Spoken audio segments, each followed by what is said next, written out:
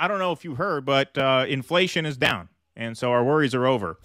Inflation fell 3%, fell below 3% for the first time in years, reports the New York Times. Annual inflation cooled more than expected last month to 2.9%, according to a consumer price index reported uh, report, pardon me, released today.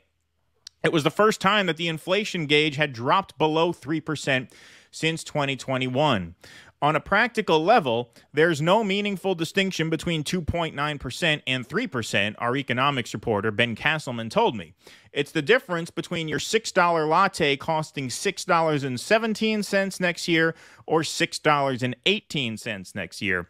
But the larger decline in inflation is absolutely significant. So that's what they mean by 3%. It means that prices are growing by 3% or now less than 3 percent. So one percent of six dollars is six cents, and so three percent of that is eighteen cents. That's where they're getting that math from.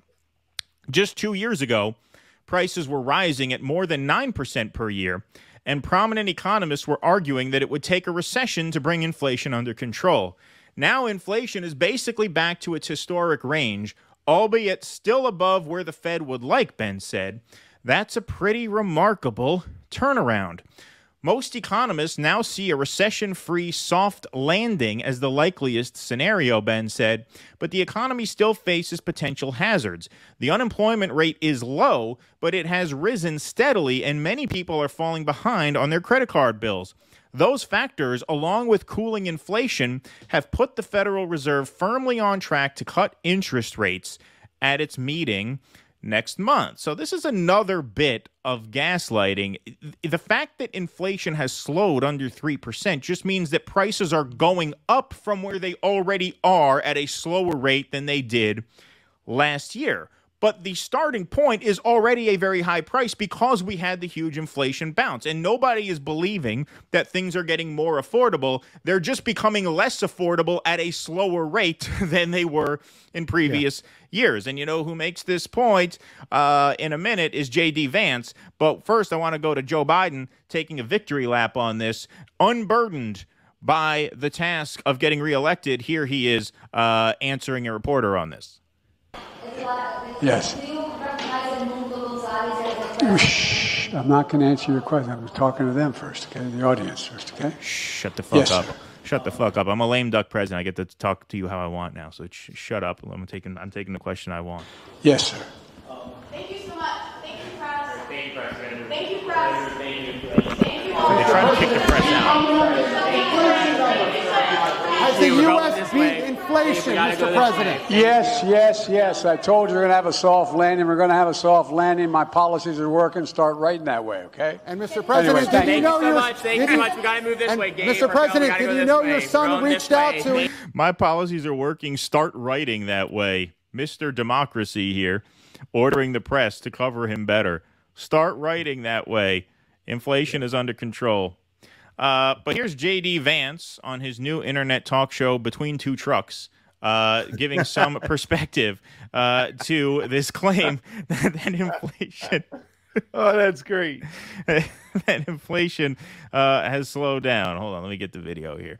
Uh, there it is. Perfect. Sir the New York Times. Uh, I wanted to ask you about the latest economic news from this morning with inflation now being under 3%, uh, the lowest rate since uh, mid 2021. What is your sort of reaction to that news? Well, I think you, the crowd reaction says it all. Look, when they say that inflation is down, they mean from a baseline where groceries are already 30% more expensive than they were when Donald Trump was president. And they're not saying it's coming down. They're just saying it's not going up as fast as it was three years ago. That is not a reputation or a record to brag on. That's a record to be ashamed of. Why did it take them so long to get inflation to where it is? And why are prices so high? It's because Kamala Harris failed to do her job. There we go. All right. So that's his point. And look, don't take it from a mean couch fucking hillbilly Republican. Uh, take it from black voters in Philadelphia if you want. Simon Ateba tweets out a black woman in Philadelphia devastated by inflation breaks down and blames the Biden Harris administration, saying that inflation is killing us without killing us. How Does inflation hit you? It, it hit me hard. It's hitting me hard. Who do you blame for it? I blame the federal government at this point. If a working class mom who works as a paralegal cannot buy a $2 bell pepper because it's now five, imagine a mother living on food stamps. Mm. Imagine a mother who's making minimum wage trying to feed children. Mm. They're killing us without killing us. If you, if you understand that. They're killing us without telling us they're killing us. They're hurting people in ways that they can't help themselves.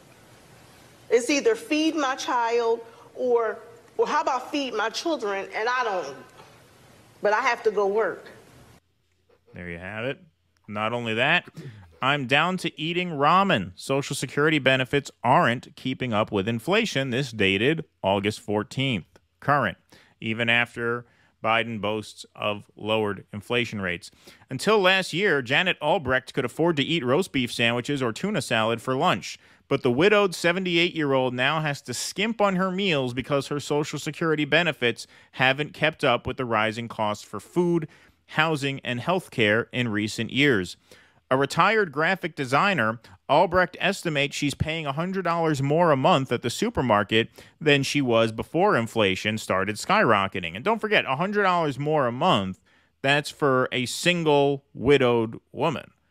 You know, I, I got we got five people in the house now. We're spending a hell of a lot more than a hundred extra dollars per month. I mean, it is four or five. It's basically a hundred dollars per person per month. Um, yeah her landlord increased the monthly rent by a total of $65 over the past two years. Her utility bills are larger, and some of the seven medications she takes daily after suffering a heart attack have gotten more expensive. She hasn't had a haircut in more than a year, though she doesn't like to wear her hair so long. I'm down to eating ramen for lunch, which I never ate in my life until recently, said Albrecht, an Indiana, Pennsylvania resident who relies primarily on $1,163 in monthly Social Security payments. If it's not marked down, I just don't eat it. I haven't eaten beef since I don't know when. I can't afford it. Many other senior citizens are also feeling the inflation squeeze. Social Security benefits have lost 20% of their buying power since 2010, according to a recent analysis by the Senior Citizens League, an advocacy group. Those who retired that year would need a boost of $370 a month or $4,440 a year on average to regain the lost value. Put another way, every $100 a household spent in 2010 would only purchase $80 today.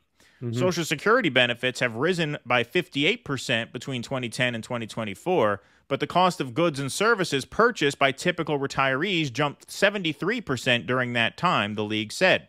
The prices of bread and ground beef, for instance, have shot up nearly 147% and 73%, respectively, over that period. And this is the part that I think goes unsaid all too often is that where people are feeling inflation worst is where it's highest, which is food and groceries, yeah. necessities, things that people cannot do without.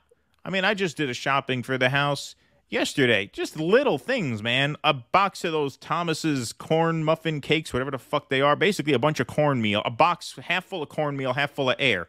Five dollars and twenty nine cents. Like, where the fuck you get this from? Paper towels. Yeah. Like those used to be ninety nine cents, by the way. Yeah, no, everything. For, it's for, like it's insane. Yeah. It's it's just absolutely insane when you think about like when I think about you know ten years ago, it's like another world.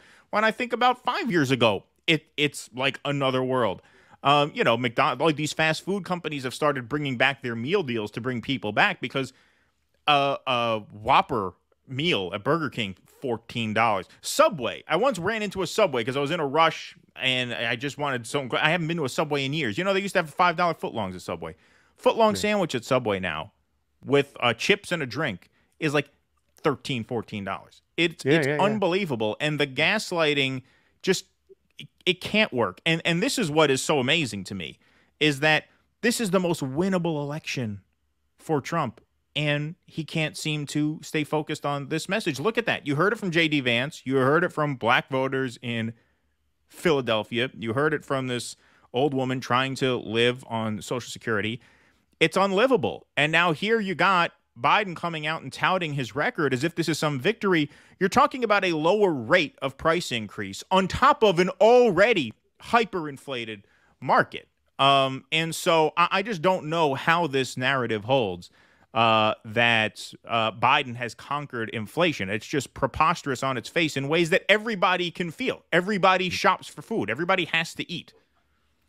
Listen, corn pop. I told you to be a soft landing. There's a soft landing, Mister White. exactly. All right, that's the word. You, just because landing. you have to pay five twenty nine for your Jiffy corn corn muffins now, you know you got to cry about it. Forget about it. Listen, if this is what's happening to the people who are retiring today, right now, what is it going to be like 10, 20 years for us down the road? I mean, it's going right. to be awful. Right. And you know, the, the the sad part about it is too is we as we talk about that bell pepper that lady was talking about, that bell pepper too now that you have to pay five dollars for probably is filled with pesticides and all those other things. Yep. I mean, the whole quality of our food has went down. And you're right. Every single time you even go to fast food now, the five dollar foot long is gone right? You could spend twenty dollars a person at McDonald's now. I mean, yes. when is this going to end? And I mean, it gets back to us talking about, you know, hey, instead of spreading our empire everywhere around the world, instead of importing food in, and this is something that's kind of crazy that over the last four years or since after COVID, uh, the the Republican, the populist right has gotten more of a grasp on growing their own food, making, you know, building their own resources. We need right. to do that as a nation. We have yes. to start bringing that home. We have so much land in this country that we can be, you know, growing our own food, keeping it real cheap, you know, uh, and be healthier food. So, I mean, uh, when you look at this, and let's be honest too, uh, sticking to the story, Keaton, we know this came out now because it's election time and right. they got to make the Democrats look good. I think there was an article or some uh, report the other day that was saying that all the advertisement that's going for uh, Kamala Harris, it's obvious that the advertisers are favoring the Democratic Party that are putting those up on Google and all those those places that seem to be more Democratic establishment friendly. So they're releasing this report now to try to help them with the election coming up. And that's why they're saying it's a soft landing. But I don't think it's going to work because I, I think people realize, and but I think the big question for Donald Trump is, and I've been saying this since this interview the other day, what's your economic plan? The, right. the one time I really did appreciate Donald Trump for what he did when he tried is when he put tariffs on certain manufacturing uh, products in China to try and bring that manufacturing home. You know, like it wasn't just overall.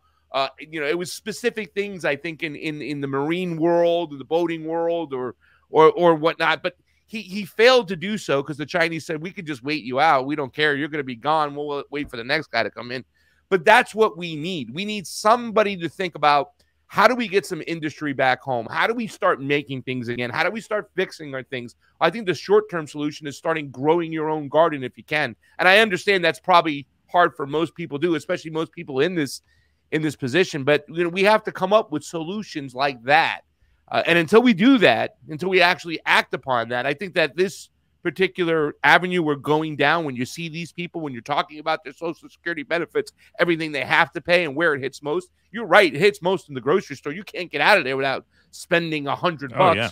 I mean, it, this is going to continue to get worse until we find a real solution to change things. And praising your God, Donald Trump, is not going to change things unless we have a serious solution moving forward. And that's what I always talk about when it comes to him and the economy. Like, what did he really change? What changed in the economy when Donald Trump became president. Everybody was still working for an app. You know, the right. homeless number was still growing. The military budget was still increasing every year. You know, I mean, what really changed?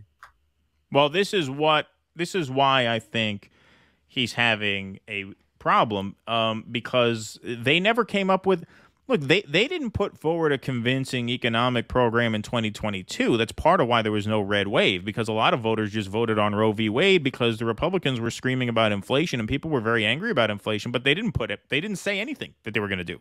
They, they, they didn't put forward any real plan uh, to bring it under control. And, you know, people are aware enough to know that Republican economic policy is almost always tax cuts for corporations.